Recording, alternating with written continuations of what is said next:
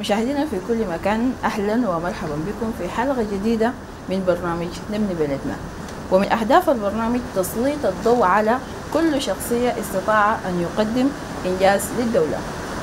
وسعيدة جدا أن يكون معي داخل الاستوديو واحد من الشخصيات التي استطاع أن ينال ثقة رئيس الجمهورية وتم تعيينه للمرة الثانية في نفس الوظيفة كمدير عام لشركة النيل للبترول أو المشهورة بشركة نايل بيت. شركة نايل بيت بدولة جنوب السودان تعتبر المشغل الرئيسي لحقول دولة جنوب السودان وتطوير التعاون الفني في مجال النفط. إذا ضيفنا السيد دكتور شول أهلا بك دكتور. أهلا بك شكرا رانيا وعبرك بحيي جمهور هيئة جنوب السودان للبث وبصفة خاصة جمهور التلفزيون القومي لجمهورية جنوب السودان. قبل ما نخش في حوارنا عندنا تقرير بسيط شاهد مع بعض ونرجع نواصل ثاني إذا عزيزي نشاهد التقرير ونرجع لكم ثاني Let us forgive one another. Let us work as uh, colleagues, as generation, because if I fail, it is your failure. If I succeed, the leadership will say, ah, so Shabab have done a magnificent job here. كده أديم تاني محل هناك. The managing director of Nile Petroleum Corporation, Dr. Cholding Thon, has reiterated commitment to complete the work on the Nile Fed building. Dr. Chol, who visited the construction site, thanked President Salva Kiir for giving him another chance to lead the institution. He said his administration would work with oil operating companies to complete all the unfinished projects, including the residential house in Wau and the refineries, among others. Now, first time for our new MD, who is not new, to visit the building after one year and one month. So, Dr. Shul, you are, you are highly welcome for what you have been started. Uh, for our safety briefing, as you know, this is a, a construction site. And in construction site, there's a lot of scattered metals, stones, tools of working. So when we are done, when we are going to inspect the, the, the building, please, you are required. You are required to look on your step so that we don't want you to get hurt. As you come, we want you to go back safe. So please mind that one when we are moving. This is one. The another one regarding the coronavirus. Still, the COVID-19, we have it, and that is why all of us, we have face mask. And when there is a crowd, Um, Equatorial Tower is uh, somewhat 13 floors. This one right here is ground floor plus 10. But it would come as a surprise to you that it is the tallest building in town. Is it bad? Is it a crime that the National Oil Corporation of the Republic of South Sudan, which is a state-owned company, has the highest building in town? This building is being fought because people are saying if it finished, it would give the Chol credit. I did not do it alone. We did it together. And it is the property of the government of South Sudan. It's a matter of pride. Whoever comes to Juba, whether from Sherikat, from Jebel Dinka, from uh, Lologo, or you are coming from Terkeka, you will always see the building of Nalpet and you will ask, who's the owner of this building? And everyone will tell you it is the government of South Sudan under Nile Petroleum Corporation. It's a matter of pride. And if you don't feel that way, then ask yourself and check where you know your loyalty to this country is. مشاهدينا في كل مكان اهلا بكم من جديد وبذكركم انه ضيفنا في برنامج نبني بلدنا دكتور شول مدير عام لشركه نايل بيت. آه دكتور قبل ما تدي تعليق على الاستقبال الكبير عايزين نبذه تعريفية عن دكتور شول مراحل التدرج لحد ما وصلت مدير عام لشركة Nilepet. شكرا مرة ثانية رانيا. آه، أنا شول دينغ طونا بيل آه، من ولاية عالي النيل آه، محافظة باليت آه، درست المراحل الدراسية في البندرة الابتدائية ملكال. الرنك ال- الرنك اثنين الابتدائية أبو عنجة المتوسطة أم درمان موسى الضوء حجوج ثانوية أم درمان ثم جامعة الخرطوم كلية الهندسة. آه، القسم قسم الهندسة المدنية. وتخرجت من جامعة الخرطوم ثم عملت بالعديد من المشروعات آه، في السودان بدءا من آه، المؤسسة مؤسسة أعمال الري لبناء مشروع سندس الزراعي مشيت نهر النيل. آه، اشتغلت برضه في العبيدية آه، دامر بعد ذاك مشيت سد مروي ورجعت عملنا آه، سدود بتاعة الجنوب هنا. آه، فولة شوكولا لاكي بعدين بعد ذاك مشيت للماجستير عام 2007 آه، عام 2010 بديت الدكتوراه وخلصتها في عام 2014 فدي باختصار المراحل الدراسية وعملت الدكتوراه في الهندسة البيئية. أهلا بك دكتور. آه قبل شوية شاهدنا التقرير. يعني تعليقك شنو بالنسبة للاستقبال؟ يعني إحنا شفنا الاستقبال كان كيف. كده أوصف لنا شعورك. والله هو يعني ال- الاستقبال كان استقبال حافل واساسا العدد ال- اللي جاء هو نقص شوية لأنه مشينا اتاخرنا في رئاسة الجمهورية عشان نمشي نشيل القرار بتاع التعيين. فكان قالوا لي إنه الصباح ما كان في حتى موطئ قدم في Nilepet ولأنه الوقت ذاك الشمس كانت حارة شديد. فبعض الناس قاموا مشوا. فالإحساس كان إحساس الزول العايد لبيته بعد غياب وكده. لأنه يعني Nilepet أنا بديت كمدير وبقيت مدير عام وبقيت managing director حتى بعد ذاك رجعت كمدير تنفيذي للمرة الثانية. فحتى في الاستقبال يعني كل الوجوه كانت يعني مألوفة بالنسبة لي. وإحساس الزول العايد لبيته. فما كان في يعني إحساس بغرابة كده كان في فرحة و... وطيب ما ما هي الاختلاف بين المرحلة والسابق لتوليك مثلا مدير العام للمره الثانية وإنت حتضيف شنو في المرحلة؟ والله هو الاختلاف طفيف؟ وكبير في ذات الوقت. لو تذكر رانيا في 2017 لما جيت لأول مرة كانت في مشاكل كبيرة جدا جدا في القطاع. يعني الناس كانت بتجيب ثلاثة يوم ما في ما في وقود آه، بخلوا العربات في المحطات بتاعت الوقود. فنحن جينا بعمل ممنهج آه، يعني رفعنا الدعم وخلينا كل زول يمشي يلقى يلقى الجاز بالسعر الرسمي ودعمنا العربات اللي بتشيل سعات كبيرة عربات المواصلات. لأنه قلنا أنا ما ممكن أدعم ال- الوقود للفنادق وأخلي المواطن يمشي بكرعيه لازم ان إحنا ندعم الجاز اللي بيمشي للعربات زي ناس بونجا باس وناس آه، ايماتون وكده وده حاجة نحن عملناه فدي دي كانت ال- المشاكل بتاعت المرة الأولى. وان إحنا ك Nilepet ما كان عندنا assets ما عندنا يعني حاجات مملوكة لل Nilepet عشان نحن نقدر نمشي نشيل loan فده اللي خلاني أجي أفكر في الحتة بتاعت إنه لازم نكمل القروش بتاعت ال refinery لازم نعمل مبنى ل Nilepet لازم إن إحنا نكون عندنا حفارات عشان إن إحنا نحفر. لازم يكون لنا برنامج بتاع إنه ان إحنا يعني نستبدل الأجانب بحلول عام 2027 يكون في تدريب. يعني مفيده للموظفين. مفيد. الدليل على كده هو الاستقبال بالضبط كده. مفيد in the sense that هم هيلقوا فرص بتاع تدريب زيادة. هيكون عندهم مبنى يقعدوا فيه. آه Nilepet ماليا هيكون مستقر لأنه نحن ممكن نمشي نشيل يعني قروض لأنه بقينا عندنا حاجات نحن ممكن ناخدها ك collateral يعني انت لازم تكون ده collateral تخطه للبنك عشان يدوك loan فالاحساس بتاع الأمل الرجعه للناس إنه نحن هنبدأ في المشروع هنكمل المشروعات السابقة وهنعمل مشروعات جديدة. فكان يعني بالنسبة لمعالجة المشاكل أسعار النفط على مستوى العالم وصل ل 32 كأعلى مستوى لبرميل الواحد الخام.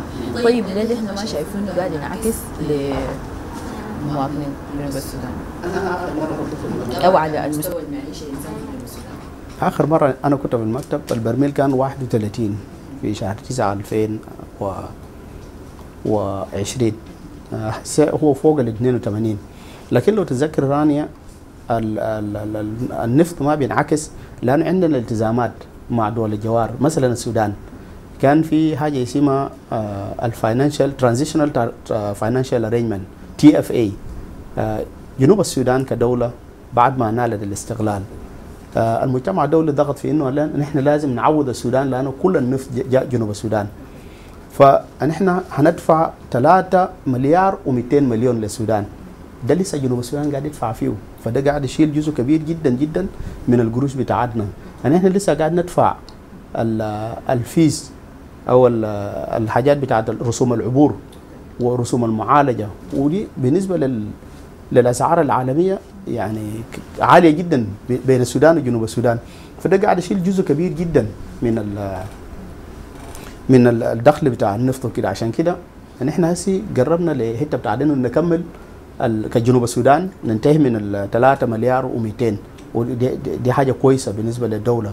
لكن برضو الدولة شغالة في إنها تطور القطاعات المالية الأخرى زي ال ال ال الرسوم غير البترولية أو المداخيل غير البترولية ال non-oil revenues فده هسه اتكونت لجنة واللجنة دي قاعد تمشي للحدود. هم مشوا زاروا أويل زاروا رنك زاروا نمولي مشوا كايا. فالدولة شغالة بشكل جاد يعني عشان كمان تنوع. خبر جديد ممكن نسمع بقينا عندنا مصفى برانا آه المصفى بتاعت بنتيو طبعا المصفى اشتغلت لكن عندنا الحتة بتاعت الوصول بتاعت ال- ال- المواد المشتقات البترولية للسوق. عندنا الطرق طبعا طرق موسمية فعشان تجي انت من ولاية الوحدة أو من من روين آه، من إدارية روين لجوبا شوية صعب. فنحن كنا مفكرين في الخيار بتاع إنه يجيبوا بالبحر. لكن البحر في يعني بحيرة نو ومانجا في 30 كيلومتر. فيه 6 كيلومتر لازم يعملوا لها إزالة بتاعت إطماء عشان البواخر تمشي. وتشيل الحاجة دي. وده الكلام اللي أنا كنت خليته لباشمهندس بول رينج إنه يشتغل فيه لأنه التكلفه بتاعت الحاجة دي زي 6 مليون.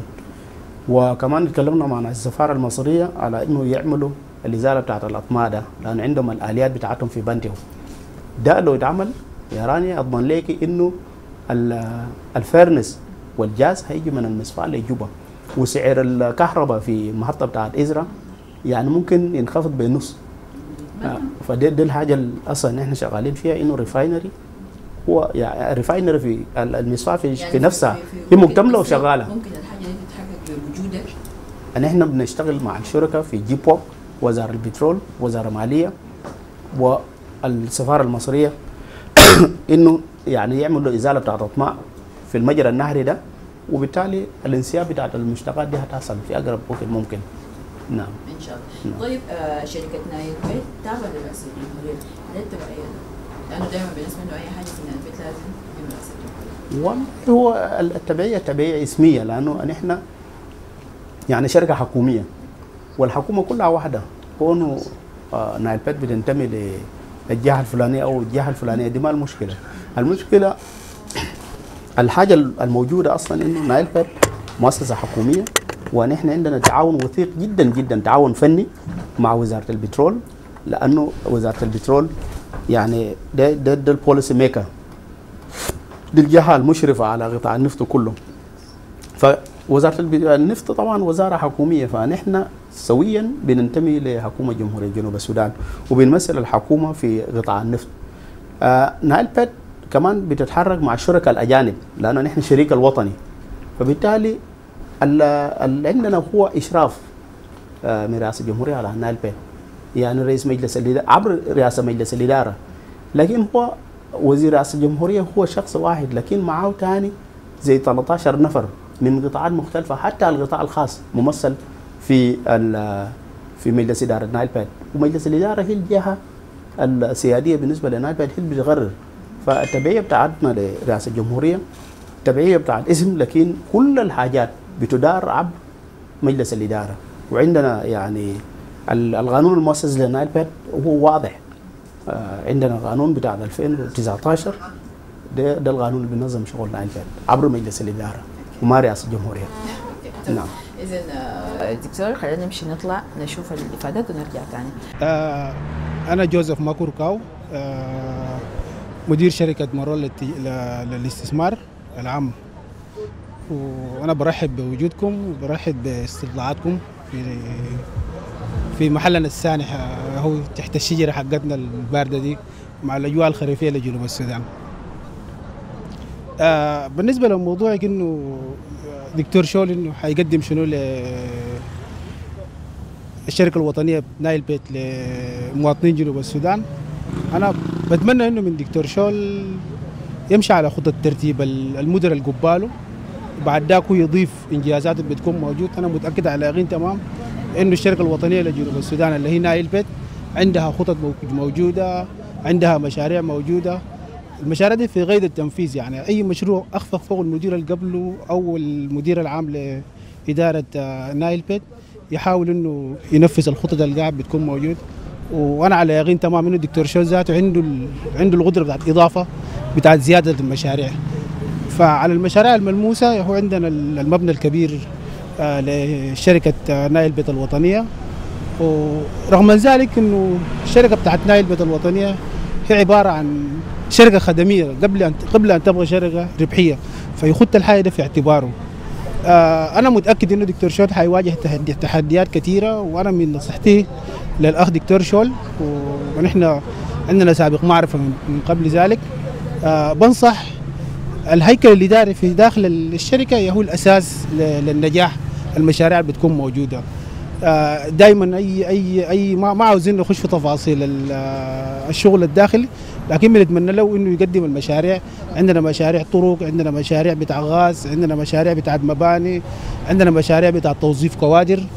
فالحي اللي حيقدموا أي إدارة بتبدأ بالكوادر البشرية اللي بتكون موجودة. أنا بتمنى من دكتور شول إنه يخد كل رجل مناسب كادر مناسب عامل مناسب موظف مناسب في محلاته. ونحن نتمنى له كل الخير وإنه يتقدم لجنوب السودان بأفضل ما فيه كفايته بأفضل ما فيه المشاريع لأنه نايل هي الشركة الوحيدة الوطنية اللي بقت معروفة لجنوب السودان. نتمنى له كل خير والتوفيق. أنا اسمي نور الدين أكوج. آه صراحة أنا رأيي مغاير في الحتة ده تماما. المسألة ما مسألة الدكتور شولو بس آه المسألة هي مسألة إنه الفايدة شنو مثلا؟ يعني كل مرة إحنا نجيب دكتور شول مرة جاي نجيب آه بول رينج ف ده ما إشكالية. آه ما عندنا شك إنه الدكتور شول ممكن يعمل حاجة أو يغير حاجة أو غيره. أي زول ممكن يشتغل.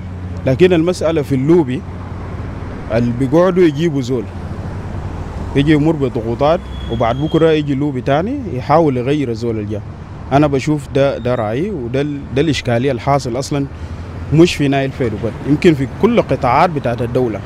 يعني إحنا من الانفصال لو بدينا من الانفصال يعني كمية من القرارات وبيغيروا في ناس لكن ما في تغيير قاعد يحصل. يعني كله حمل الناس إنه يجيبوا فلان وإحنا شلة فلان نجيب علان. فدي الإشكالية هنا. هلا شكرا راني أنا يعني لو بدينا ب بكاميرا جوزيف هو ذكر حاجات مهمة جدا جدا.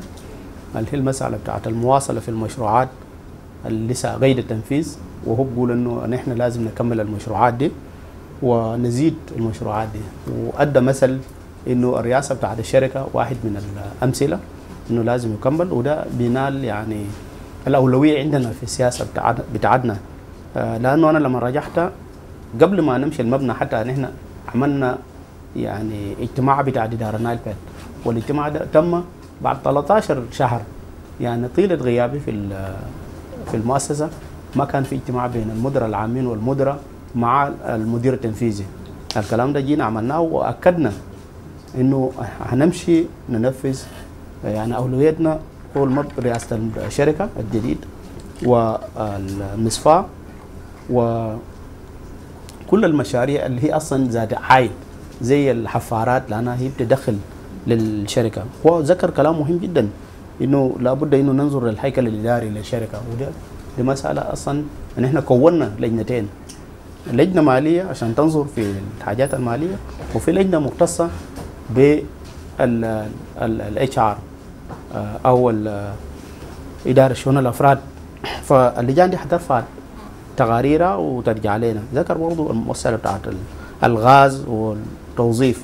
دي, دي كلها حاجات يعني أولوية. نور الدين كوج هو ذكر كلام بتاع إنه في تغييرات قاعد تحصل وده طبعا على مستوى القيادة. إن إحنا ما عندنا آه، كلام فيه لأنه القيادة عندها الحق في إنها تجيب الكادر المناسب في الوقت المناسب. والمسألة بتاعت المحاسبة وده بيرجع بي- بي- بترجع للقيادة ف- برضه نحن نشكر على رأيه انه هو عنده رأي مغاير مشكلة الغاز آه إحنا يمكن طلعت غاز نعم. لكن الكمية ما كافية نعم. والدليل على كده إنه لسه إحنا بنجيب غاز من برا المشكلة وين؟ ولا ان إحنا نايل باد قاعد تستورد ال- الغاز بالمناسبة وفلسفتنا في إنه يعني إحنا لازم نق- نقلل اللي هو استخدام يعني الغطاء الجاير للأشجار عشان يعملوا فحم. لازم نقلل من الكلام ده لأنه ممكن يؤدي لتصحر في البلد ونحن عندنا مشاكل كثيره بتاع تغير المناخ وكده. ففلسفة نايل بيت قامت على إنه ان إحنا لازم نعمل يعني نجيب غاز ونشجع الناس. حتى النسوان اللي بيعملوا زلابيا يستخدموا الغاز يكون عندهم أنابيب صغيرة.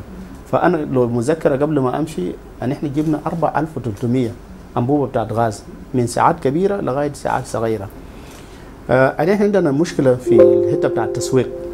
لكن الأنابيب كفاية ونحن قاعد نجيب غاز كفاية. وعندنا مستودع بتاع غاز موجود هنا في جنوب جوبا. فالتوظيف الدعاية ما تمت بالشكل المناسب ومعظم الناس ما عارفة إنه في غاز بتاع النايل باد برضو مسألة الوكلاء يعني إحنا بعد ما جبنا الأنابيب قلنا هنجيب هنعمل وكلاء في جوديلي في خور ويليام في آه، تونغبين في كل المناطق في جوبا هنا. على إنه نوعي الناس ما نحن يا حكومية ومن مصلحتنا إنه غاباتنا ما يعني ما يتم تدميرها. فعشان كده لابد إنه أن إحنا نمشي نعمل دعاية عشان كل أسرة تعرف. والغاز بتاع النايل باد اللي هي نيب غاز يعني أرخص غاز في السوق. ده واحدة برضه من المشاكل اللي عندنا إنه نحن يعني لسه بندعم الغاز. ونحن بندعمه لأنه عندنا فلسفة وراء الكلام ده إنه المواطن لازم يلقى الغاز بسعر مناسب عشان هو لما يقارن ما بين الغاز وال- والفحم الغاز هيكون أرخص. وبالتالي هنشجعه يحصل الحاجة دي قريب؟ بيحصل. نحن دايرين يعني المرحلة الجايه في إنه نزيد حتى الأنابيب. تكون في أنابيب للفنادق سعات كبيرة والمطاعم الكبيرة دي على أساس هم يستخدموها. في الأنابيب بتاعت المنازل دي اللي هي 12 ونص KG كيل- كيلو جرام وفي الأنابيب الصغيره اللي هي للشاي وللناس بتاع الزلابية والنسوان شغالات في السوق ديل. عشان نشجع كل زول إنه يستخدم الغاز. لأن ده مشروع وطني أكثر مما يكون حاجة للربح وكده. تمام. آه البترول واحد من مسببات الاحتباس الحراري ما هي الخطوات البديله أو الخيارات للمشكلة الاحتباس؟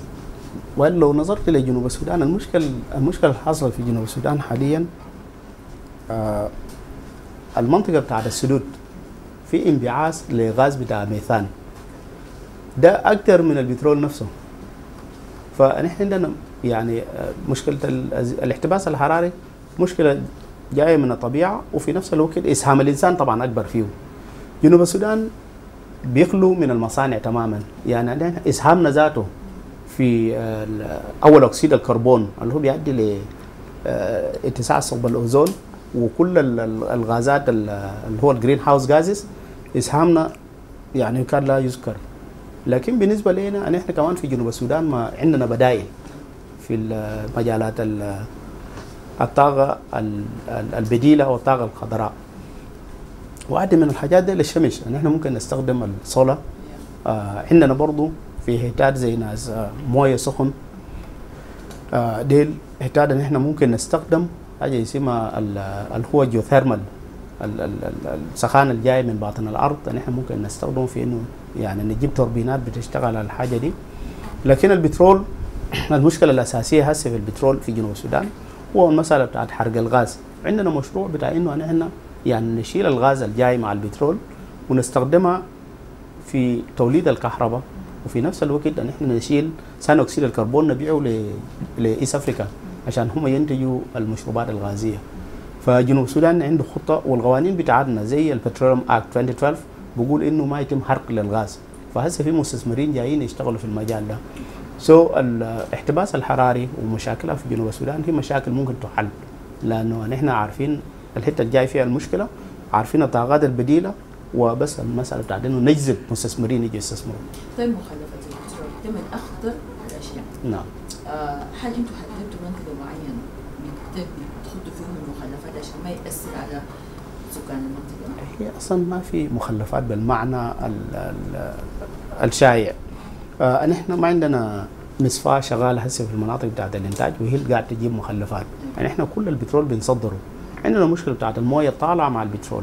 وأصلا في شركة جابوها على أساس إنها تعالج الموية دي. مشكلة الموية دي إنها هي مالحة زيادة. هي يعني عناصر آه يعني اللي هي بيقول لها ال heavy metals ودي بتعالج وبيتم reinjection يعني يتم حقن الموية دي لل لل reservoir تاني فالشركة دي هسه هتجي وتعمل معالجة للموية دي وترجع الوضع أو تعالجها تعالج جزء تحقن والجزء الآخر يتم في رش الأشجار ويعملوا زي غابات آه، يعني يستخدم فيها الموية دي لرش بتاع الحاجة ده في ال- ال chemicals اللي تستخدم في ال- الكي- الكيماويات المستخدمة في في استخراج البترول. بيتم حصرها إذا مدتها انتهت. في شركة كلفت كان إنها تشيل الحاجات دي وتمشي توديها في حتات اللي بيتم التخلص عنها. يعني في محل في يوغندا هم مشهورين بالمسألة دي. فالشركة دي شغالة مع وزارة النفط على إنها هي تشيل الحاجات دي وتمشي توديها عشان يتم التخلص منها بشكل آمن. في في شكاوي آه، في مجال النفط نعم ال- السبب الأساسي في نعم. تلوث البيئه نعم. يعني هسه في مناطق الناتجه للبترول نعم. زي الفلج والمولور نعم. ظهر فيه مشاكل كثير نعم. يعني آه، وصل على مرحلة إنه يتأثر على الإنسان والحيوان مع بعض نعم الإنسان إنه بقى في تكرار في إجهادات نعم. وفي أطفال ولدوهم مشوهين نعم. وعالميا المفروض إنه أي منطقة نعم. في تنتج بترول المفروض يتحول يحولوا اصحاب المنطقة الاصليين نعم. يعمل لهم حاجة زي مجمع سكني. يكون نعم. بمواصفات لأنه هم أصحاب زي ما بنقول أصحاب المنطقة. نعم. آه طيب الحاجة دي ما حصلت. ليه هسي المشاكل دي حاصله؟ والله راني لو رجعت لتاريخ استخراج البترول في السودان قبل ما جنوب السودان ياخذ استقلاله آه ال- الحكومة طبعا ما اهتمت بالمسألة بتاعت إعادة آه يعني relocation يشيلوا الناس دي يودوهم في حتات آمنة. بل هم قالوا إنه المناطق دي ما بتنتمي لأي زول. وجابوا ناس شرطة عسكرية وعملوا إخلاء غسلي للناس. والم... والشركات دي جات واشتغلت. فنحن ورثنا المشاكل دي من السودان. آه، ابتداء يعني كل التراكمات من ألف من آه، 1999 لغاية ما جنوب السودان جاء استقل في 2011 قريب ال 12 سنة. آه، ورثنا المشكلة دي. بل يعني إحنا ذاتنا يعني ما تمينا سنتين وقامت الحرب في الوقت ده. وفي مناطق أصلا تم اخلاعها يعني زي زي يونيتي وروين آه، اداري روين هي كانت تم اخلاعها فكل الحاجات اللي حصلت في زمن بتاعت الحرب ما كان في زول موجود آه على الأرض عشان يعمل الحاجة دي. المعالجات الأخرى اللي تمت وهي من اختصاصات وزارة النفط آه وزارة النفط عندها مع الشركات المنتجة. طبعا نايلباد ما شغالة في ال في ال في الفيل لكن وزارة النفط قاعدة تعالج الحاجة دي through حاجة اسمها المسؤولية الاجتماعية community development فهم عندهم مشروعات بتاعت community development بس لما الحرب قامت الانتاج ذاته نقص من 270 لحاجة بتاعت 120 الليلة ده 106 فبقت ال- المداخيل من من مبيعات النفط ما كافية لإنه يعني حتى الميزانية بتاعت المسؤولية الاجتماعية نقصت كثير جدا جدا. ده من ضمن الحاجات اللي بيقوموا بيعملوا بها الحاجة دي. لكن دائما الحاجة دي بتحصل في طور البداية. يعني بدا من ما يبدو الشغل بتاع النفط المفروض كان يعملوا. إقلال الناس ديل ويودوهم لكن حكومة السودان آنذاك ما كانت عندها أي نية في انها تخدم المواطنين ديل. فورثنا المشكلة دي وقامت حرب والناس بقت مركزة في الحتة بتاعت الحرب وما قدرت إنها تتناول الحاجة دي يعني أنتوا شغالين في المشكلة الناس شغالة والحكومة شغالة في الحتة بتاعت إنه لابد إنه يعالجوا كل الإشكالات دي مع الشركاء وعشان كده أنت بتسمعي هسه في كلام كتير إنه لازم يعملوا يعني الحكومة دايرة تعمل حاجة اسمها environmental audit يعني إحنا نشوف آه، شنو اللي ماشي غلط في البيئة وبعدها معالجتها عشان يلزموا الشركات دي تدفع على أساس إنه يعالجوا البيئة. ده واحد من الحاجات. آه، في cost recovery audit يعني في الناس دي جابوا استثمار بتاعهم هم رجعوا جزء من الاستثمار. ولسه بقول إنه استثمارهم لسه كتير. الحكومة قاعدة تقول كده نعمل مراجعه للقروش اللي أنتم قدرتوا تشيلوها والقروش اللي أصلا المفروض ترجع للحكومة. فدي القروش الحكومة ممكن تستخدمها لمعالجة. التشوهات دي وهي تشوهات موروثة يعني. يعني الحكومة جات لقيتها وهي كبيرة. طيب هل مرة أنتم مشيتوا كلمتوا مع أصحاب المنطقة بانه احتمال يكون في تغيير؟ مثلا بأنه يرحلوهم هيقبلوا ولا ما هيقبلوا؟ ولا و- لسه ما تمت المبادره؟ والوزاره طبعا ممكن تجاوب على الحاجة دي لأنها هي برا الشغل بتاع Nilepet نحن ما شغالين on the ground لكن آه، الوزارة يعني شغالة مع كل الناس الموجودين في المنطقة. وانت لو عارفة إنه في 3% مخصص لل- للمناطق المنتجة وفي 2% للولاية المنتجة. سو ال 3% بيوزع للمحافظات المنتجة. وفي 2% بيمشي. ده جزء من التعويض ودي الحاجات اللي ممكن تستخدم في إعادة توطين بتاع الناس زي لمناطق آمنة. والحكومة قاعدة تدفع الحاجة دي. يعني بيكون لا- زمان زمان الحرب. وزمن انخفاض الإنتاج إنه المداخيل بقت شوية. وما تنسي الكلام اللي قلت قبل عن إنه إن إحنا لسه بندفع للسودان 3 مليار و200 ودي قروش كثيره جدا جدا. فالحكومة عندها التزامات كثيره لكن بعد كله الجزء من القروش دي قاعد تمشي للمناطق المنتجة. آه العاملين في مجال النفط في تميز بين العامل الوطني والعامل الأجنبي. نعم. يعني آه في شكاوى كثيره بإنه بيهتموا بالعامل الأجنبي أكثر من العامل الوطني. نعم. حتى في يعني في آه مثلا في توفير حماية لهم والمرتبات مشكلة. برضو ده شيء طبعا من اختصاصات الوزارة وممكن يسألوا عنها وزارة النفط. لكن أنا ممكن أتكلم من منظور بتاع الشركاء لأنه نحن الشريك الوطني. آه في ال unified HR manual يعني ال- القانون اللي بينظم ال- العمالة. أصلا نص على إنه ال- القروش اللي بيصرفها العامل الوطني شوية ولا بد إنه القروش دي تزاد. يعني هي طبعا ما حتكون بنفس القدر بتاع الاكسباتريتس أو ال ال ال ال ال الخبراء الأجانب اللي بيجوا بيشتغلوا. لكن نحن قاعد نقول إنه في بقى عامل جنوبي اشتغل 10 سنة من الاستغلال. آه تكتسب خبرة. بقى عنده خبرة ولا بد إنه يدفعوا له لهذه الخبرة. يعني ال- الأجنبي إذا بيصرف سي 10000 المفروض يجيبوا الجنوبي اللي شغال في نفس الموقع وبيعمل نفس العمل. ممكن يدوه مثلا سبعة أو ستة. فده الكلام بتاع وزارة النفط. لسه الكلام ده بيلقى مقاومة من المستثمرين الأجانب اللي هم شغالين في حقول النفط الثلاثه اللي هي في بالوج في يونيتي وفي ترجات لكن الوزارة يعني عبر مجلس الوزراء هم أصدروا يعني قرار إنه لا بد يزيدوا ال- القروش بتاعت ال- العمال الوطنيين. لكن هم واقفين وين؟ أنا ما بعرف لأنه دي سنة وشهر أنا ما كنت متابع ال- الحاصل لكن اللي بعرفه إنه في قانون موجود. في قانون تاني برضه بنظم اللي هو بيسموه ال local content المكون الوطني أو المكون المحلي. إنه الشركات المحلية لابد إن يعني يدوها عقودات في في النفط عشان هم كمان لما يلقوا قروش بينعكس على الاقتصاد الوطني وفي تدوير العملة الصعبة داخل الاقتصاد بتاع جنوب السودان. ودي سياسة وزارة النفط شغالة فيها وهم قطعوا أشواط. وبرضه الشركاء الأجانب بيقاوموا. لكن الوزارة والحكومة شغالة في انها هي تحسن الحاجة ده. ونايل بيد كشريك وطني ان إحنا واقفين مع الموقف الموقف بتاع الحكومة وموقف وزير وزارة النفط عشان الناس دي لابد إن يدوم حقوقهم. تمام. آه كيف يمكن للشركات تستفيد من الشركات الأخرى العاملة في مجال النفط؟ لا سيما مثلا زي دول الخليج وعندنا في المحيط الافريقي السودان نعم. والله ده سؤال كويس آه، رانيا. آه، إحنا يعني كنايل باد عند طبعا في كل مربع جديد يجي شريك ان إحنا قاعد نكون الشريك الوطني.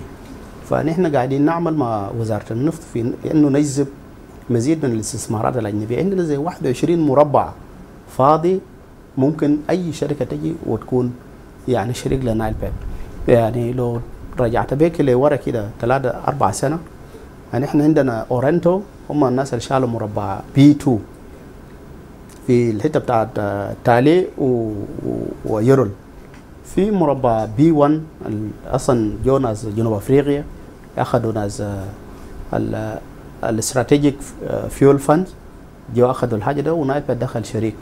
فنحن بنعمل على إنه يجوا ناس مستثمرين جداد ويجي يشيلوا ال- المربعات الجديدة دي ويخشوا في شراكة مع Nilepet ف Nilepet في الحتة دي هو الشريك الوطني أصلا بيشجع آه، المستثمرين إنهم يجوا. ونحن مش وقفنا على كده.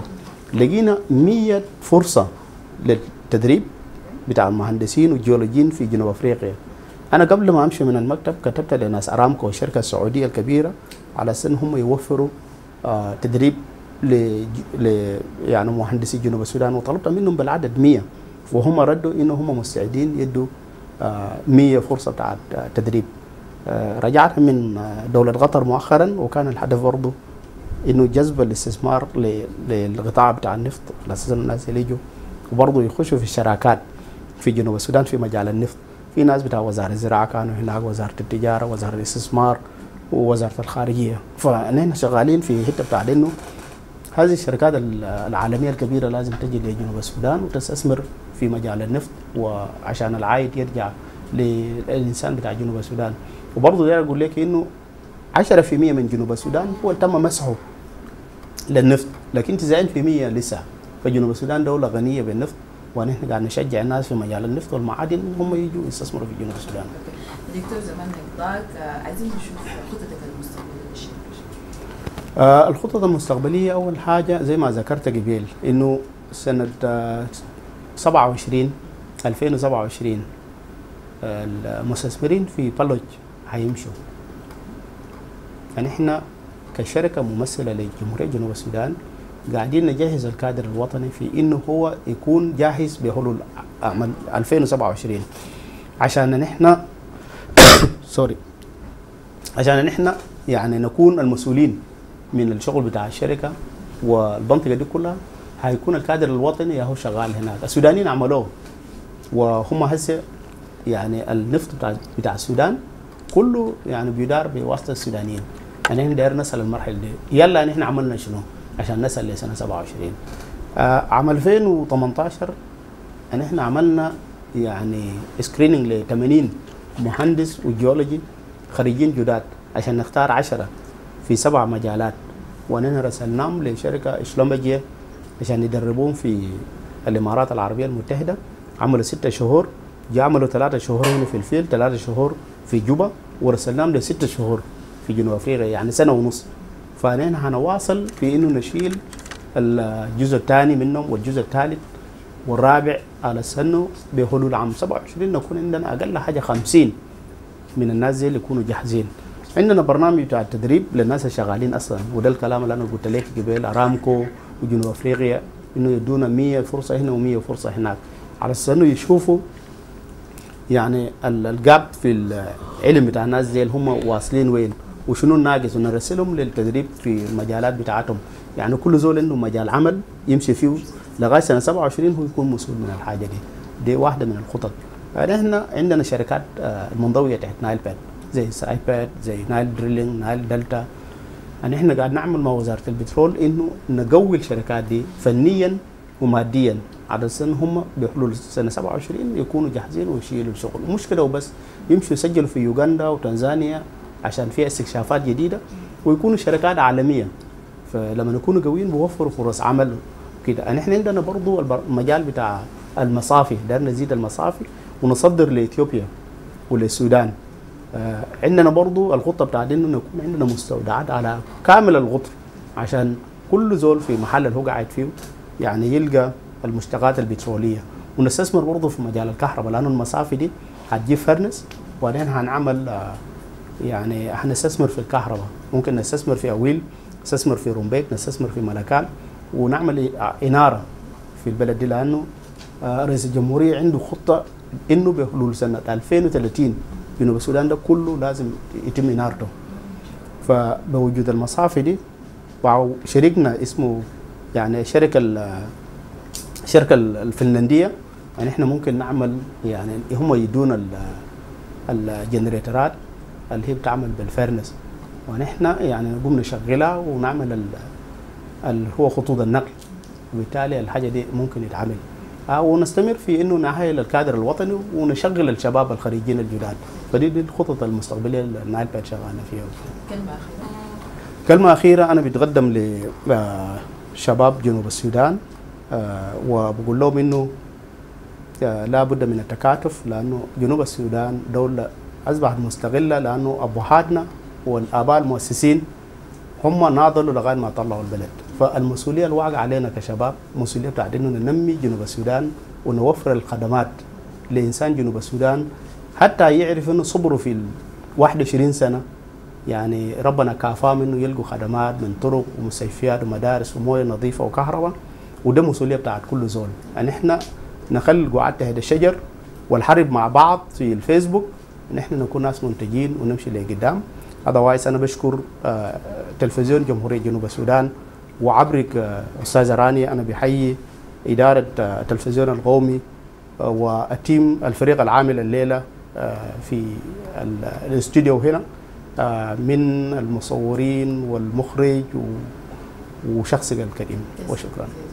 شكرا لك كثير. الله يبارك إنه الزمن يطول. بينا تستدعي لنا نعرف أكثر وأكثر الله يبارك فيك. الله يبارك اذا إذا عزيزي المشاهد آه، وصلنا لختام الحلقة. بذكركم إنه برنامجنا نبني بلدنا. وهدفنا دائما نسلط الضوء على الشخصيات اللي بين آه، يعني بيساهموا في إنجاز تقديم الدولة لقدام اذا إلى هنا انتهت حلقتنا اليوم الليلة. شكرا للفريق العامل. كنت معكم أنا في التقديم رانيا الصادق إلى رعاية الله وحفظه. مع السلامة.